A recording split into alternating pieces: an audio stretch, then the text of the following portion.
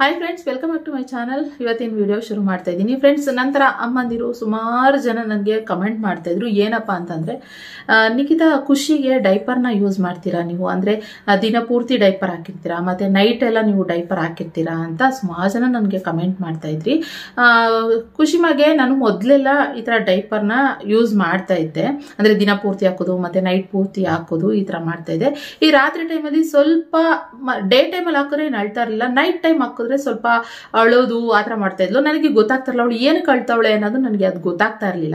ಆಮೇಲೆ ನನಗೆ ಗೊತ್ತಾಗೋಕ್ಕೆ ಶುರು ಆಯಿತು. ಅವಳು ಡೈಪರ್ ಹಂಗೆ ಕಿತ್ಕೊತಾ ಇದ್ಲು. ಅವಾಗ ನನಗೆ ಗೊತ್ತಾಯಿತು, ಓ, ಇವಳಿಗೆ ಡೈಪರ್ ಆಗ್ತಾ ಇರೋದಕ್ಕೆ ಪ್ರಾಬ್ಲಮ್ಮು ಏನು ಮಾಡೋದು? ಇದಕ್ಕೆ ಒಂದು ಸೊಲ್ಯೂಷನ್ ಬೇಕಲ್ವಾ? ಇವಾಗ ಡೈಪರ್ ಆಗ್ತಲೇ ನನಗೆ ಮಲಗಿಸೋಕ್ಕಾಗಲ್ಲ. ಬೆಡ್ ಮೇಲೆಲ್ಲ ಎಲ್ಲಾದರೂ ಸುಸು ಮಾಡಿಬಿಟ್ರೆ ಅಂತ ಹೇಳಿ. ಆ್ಯಂಡ್ ಜೊತೆಗೆ ನನಗೆ ಇವಾಗ ಒಂದ್ಸರಿ ನಾವು ಡೈಪರ್ ಯೂಸ್ ಮಾಡಿಬಿಟ್ರೆ ಏನು ಮಾಡ್ತೀವಿ? ತೆಗ್ದು ಅದನ್ನು ಬಿಸಾಡ್ಬಿಡ್ತೀವಿ ಅಲ್ವಾ? ಸೊ ಒಂದು ಏನಂದರೆ ರೀಯೂಸಬಲ್ ಒಂದು ಡೈಪರ್ ಇದ್ರೆ ಬೆಸ್ಟ್ ಅಂತ ಹೇಳ್ಬಿಟ್ಟು ನಾನು ಹಾಗೆ ಹುಡುಕ್ತಾ ಇದ್ದೆ ಅವಾಗ ನಾನು ಇತ್ತೀಚೆಗೆ ಇತ್ತೀಚೆಗೆ ಶುರು ಮಾ ಶುರು ಮಾಡಿದ್ದೀನಿ ಕುಶಿಮಾಗೆ ರೀಯೂಸಬಲ್ ಕ್ಲಾತ್ನ ಡೈಪರ್ ಕ್ಲಾತ್ನ ಬಳಸೋದಕ್ಕೆ. ಯಾವುದೋ ಲವ್ಲಾಪುರ reusable bamboo charcoal baby cloth ಡೈಪರ್ನ ನಾನು ಇವಾಗ ಇದು ಯೂಸ್ ಮಾಡ್ತಾ ಇದ್ದೀನಿ ಸದ್ಯಕ್ಕೆ. ತುಂಬಾನೇ ಚೆನ್ನಾಗಿದೆ ಈ ಪ್ರಾಡಕ್ಟು ಆದ್ರಿಂದ ನಾನಿವಾಗ ಇದ್ರ ಬಗ್ಗೆ ತಿಳಿಸ್ಕೊಡೋಣ ಅಂತ. ಅಂದರೆ ಇದ್ರ ಬೆನಿಫಿಟ್ಸ್ ಏನು, ಇದನ್ನ ಯೂಸ್ ಮಾಡೋದ್ರಿಂದ, ಇದ್ರ ಫೀಚರ್ಸ್ ಏನು ಅನ್ನೋದು ನಿಮಗೆ ಹಾಗೇನೆ ಒಂದು ವಿಡಿಯೋದಲ್ಲಿ ಶೇರ್ ಮಾಡೋಣ. ಎಷ್ಟು ಅಮ್ಮಂದಿರಿಗೆ ಮಕ್ಕಳಿಗೆ ಯೂಸ್ ಆಗುತ್ತೆ ಅಂದ್ಬಿಟ್ಟು ಇವತ್ತಿನ ವಿಡಿಯೋ ಮಾಡ್ತಾ ಇದ್ದೀನಿ.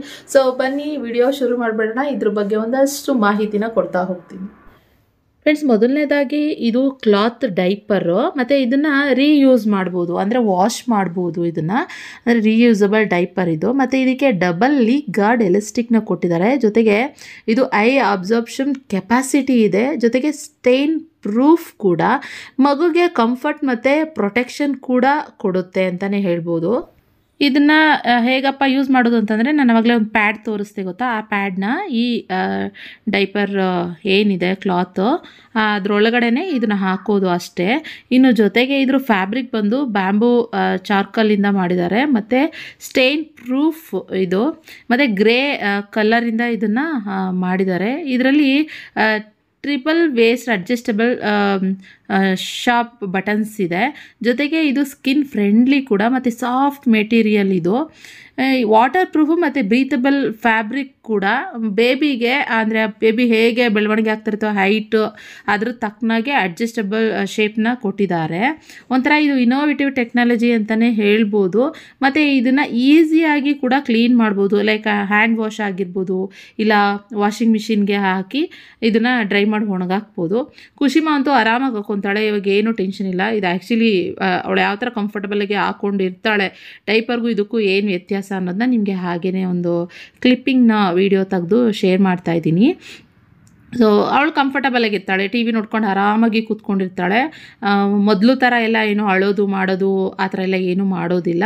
ಸೊ ಹ್ಯಾಪಿಯಾಗಿರ್ತಾಳೆ ಅಂತಲೇ ಹೇಳ್ಬೋದು. ಸೊ ಆದ್ದರಿಂದ ನಾನು ಇದೊಂದು ಚಿಕ್ಕ ವಿಡಿಯೋನ ಯೂಸ್ಫುಲ್ ಆಗಲಿ ಎಲ್ಲರಿಗೂ ಮಕ್ಳು ಇಟ್ಕೊಂಡಿರೋಕ್ಕೆ ಮಕ್ಳಿಗೂ ಕಂಫರ್ಟಬಲ್ ಆಗಿರಲಿ ಅಂತ ಹೇಳ್ಬಿಟ್ಟು ಇದೊಂದು ಚಿಕ್ಕ ಕ್ಲಿಪ್ಪಿಂಗ್ನ ತೆಗೆದು ಶೇರ್ ಮಾಡ್ತಾ ಇದ್ದೀನಿ. ಫ್ರೆಂಡ್ಸ್ ನೋಡಿದ್ರಲ್ವಾ?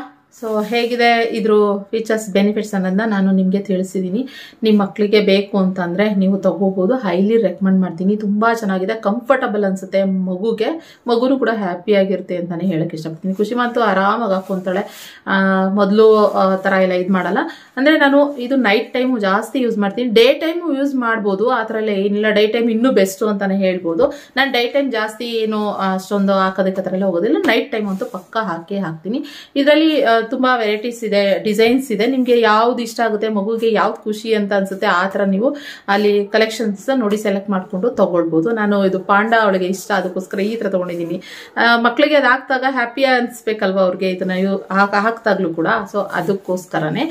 ಸೊ ಓಕೆ ನಿಮ್ಗೆ ಏನಾದ್ರು ಈ ಪ್ರಾಡಕ್ಟ್ ಬೇಕು ಅಂತಂದ್ರೆ ಅಮೆಝಾನ್ ಫ್ಲಿಪ್ಕಾರ್ಟ್ ಮತ್ತೆ ಲವ್ ಲ್ಯಾಬ್ ವೆಬ್ಸೈಟಲ್ಲಿ ಸಿಗುತ್ತೆ. ನೀವು ಚೆಕ್ ಮಾಡ್ಬೋದು ಓಕೆನಾ ಅಂಡ್ ನಾನು ಪರ್ಚೇಸ್ ಲಿಂಕ್ನು ಕೂಡ ಡಿಸ್ಕ್ರಿಪ್ಷನ್ ಬಾಕ್ಸ್ನಲ್ಲಿ ಕೊಟ್ಟಿರ್ತೀನಿ. ನೀವು ಚೆಕ್ ಮಾಡ್ಬೋದು. ಸೊ ಇದಾಗಿತ್ತು ಫ್ರೆಂಡ್ಸ್ ಒಂದು ಯೂಸ್ಫುಲ್ ಮಕ್ಕಳಿಗೆ ಸಂಬಂಧಪಟ್ಟಿರುವಂಥ ವಿಡಿಯೋ ನಿಮ್ಗೆ ಏನಾದ್ರು ಇವತ್ತಿನ ಈ ವಿಡಿಯೋ ಇಷ್ಟ ಆದ್ರೆ like share comment and subscribe ಮಾಡ್ಕೊಳ್ಳಿ. ಅಂತ ಅಂದ್ರೆ ಇವಾಗ ಸಬ್ಸ್ಕ್ರೈಬ್ ಮಾಡ್ಕೊಳ್ಳಿ.